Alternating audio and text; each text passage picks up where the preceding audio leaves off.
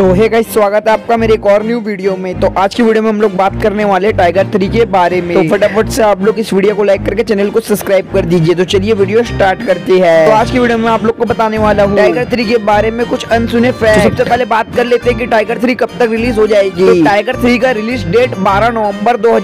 है और इसके एडवांस टिकट आज से चालू हो गई है एंड आपको बताते चले टाइगर थ्री का अभी एक और नया गाना आने वाला है जिस गाने का नाम है बादल बादल और आपको बताते चले और आपको बताते चले इस मूवी में पठान यानी कि शाहरुख खान का एक कैम्यू होने वाला है और कबीर यानी कि ऋतिक रोशन का भी इस मूवी में कैम्यू होने वाला है तो आप लोग सोच सकते हो कि बॉलीवुड के तीन सितारे एक ही मूवी में तो भाई साहब मूवी कितनी औसम लेवल की होने वाली है आप लोग इसका अंदाजा लगा सकते हो तो आपको बताते चले की इस मूवी का बजट लगभग सौ करोड़ है बताया जा रहा है की ये मूवी कम ऐसी कम हजार करोड़ तक का कलेक्शन कर सकती है तो यही थी आज की एक छोटी सी इन्फॉर्मेशन तो आज की वीडियो में बस इतना ही मैं मिलता हूँ आपको नेक्स्ट वीडियो में तब तक के लिए जय हिंद जय भारत